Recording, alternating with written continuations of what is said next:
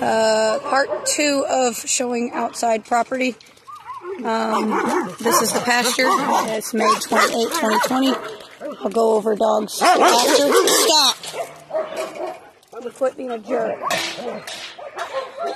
So this is the trailer that belongs to the previous help's mother, and it's been left here and abandoned for quite some time. They've not removed it. The kid was enabled to make a huge mess, and nothing's been done to get it cleaned up. I have tried. Every time I pick something up, dogs find something else. Um, I don't know what that is they found today. Leave it. But overgrowth due to the weather and not having the means to properly take care of it. Judy can't do it. Um, everything's overgrown. Um, once again, don't have the means to take care of it, especially when there's bad weather. There's a lot of junk and debris and trash and busted and leftover materials. You know, there's two lawnmowers back here. I think there's two. I don't know where the other one is. A bicycle, a tire, you know, a bunch of other crap. Um, a septic tank for the trailer.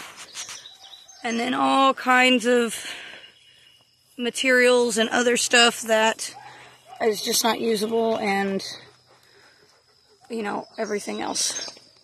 Um, when dogs are loose out here, I'm out here with them to make sure they don't get into trouble or into something or get hurt.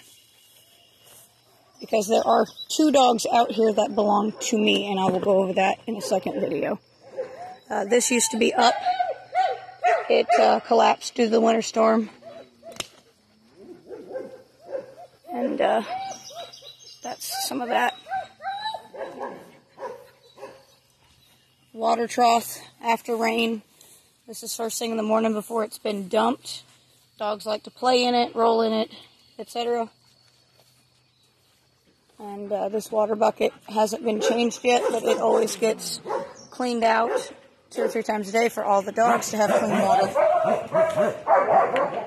Huge mud puddle, various holes. Um, I walk away for one second. Some dogs dig holes. Um, this whole section here has been dug kind of a rut. Pallets were put there in an attempt to try to lessen how nasty the dogs get when they run the fence. This was put there to try to block view to prevent them from running the fence. But they get disgusting.